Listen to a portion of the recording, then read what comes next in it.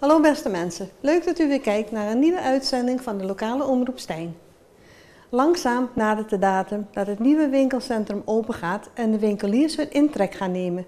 Middels de volgende beelden laten wij u de voortgang zien van de werkzaamheden die er worden verricht voor de opening.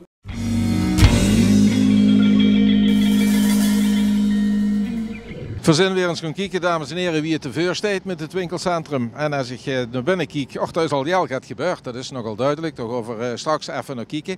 Uh, ja, ik heb me alvast op de bank gezet, want ik neem aan dat de bedoeling zal zijn uh, dat hier straks heel wat vrouwen naar binnen lopen om te gaan winkelen. En dat hier heel wat mannen achterblijven om zich de zaak op hun gemaak te bekijken. Nou, ik kan ze geruststellen, er staan verschillende banken, dus wat dat betreft is er plaats genoeg. Daarbij denk ik dat er nog wel eens heel gaat gesneurd zal werden op deze banken. Vorige week voor hier, dames en heren, ben, toen hebben we laten kijken dat er wat betreft het winkelcentrum een probleem was met uh, de riool. Er was, uh, een, ja, er een verstopping, men heeft er een hele lange sleuf voor moeten graven. Die sleuf, nou, die is ondertussen gelukkig weer toe, dus het is nu een kwestie van drogen laten. Nou, dan staan we hier even te kijken om eens zien wat voor, uh, ja, ze her en daar eigenlijk zijn. Wat is veranderd vanaf vorige week. Nou, ik sta niet achter, achter me, laat ik het zo zeggen. Daar staan een hele, hele hoop rekken enzovoorts. Heel veel mensen zijn aanwezig. Daar wordt de, de nieuwe blokker uh, ingericht, zullen we dat maar zeggen. Uh, kijk ik eigenlijk de rest van het winkelcentrum dan zie ik wat voornamelijk eigenlijk uh, ja, dat, zoals ik al zei, de koeltoe is, waarvoor dus die de pech met houden. Ik zie ook dat geluidsinstallatie, dat men die het aanstaan en dat men aan het proberen is of er gaat muziek in de tent komt. En misschien werkt er dat achter me ook wel van, er is inderdaad ook al geluid. En uh, ja, voor de verderaars is het uh, vooral op dit moment het, uh, ja, het, inrichten van de diverse winkels. Sommige mensen doen dat zelf, maar het merendeel heeft er natuurlijk een bedrijven voor ingehuurd. Hebben ze immers mensen waarvan ze kunnen zeggen, het is ieder zijn vak. Nou, en dat is dan hun vak.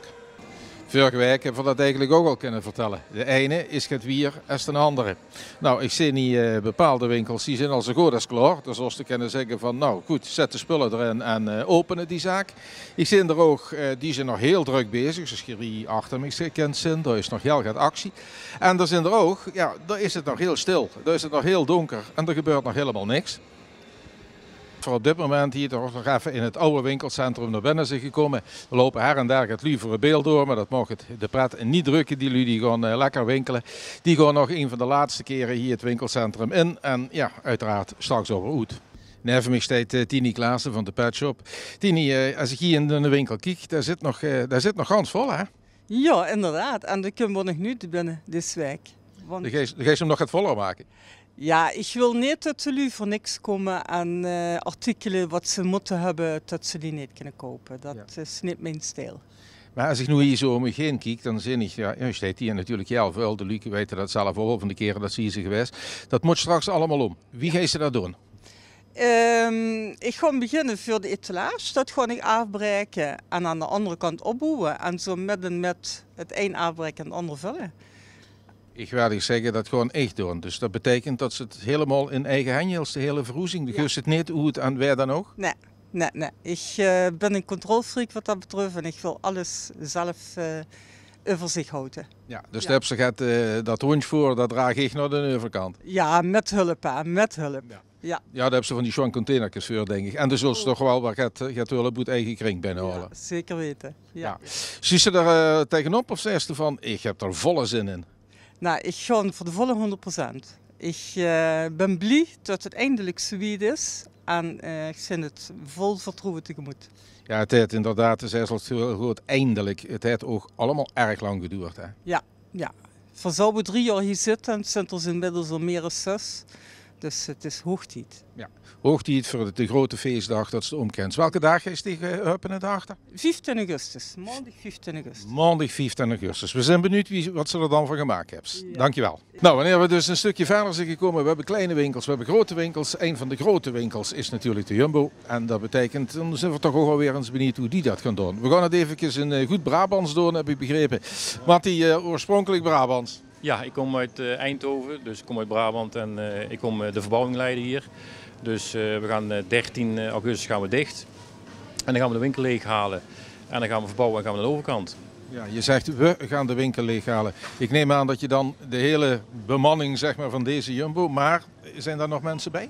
Ja, daar komen nog mensen van andere filialen meehelpen. Het hoofdkantoor komen een aantal mensen meehelpen. Dus eh, we zijn met een hele grote groep.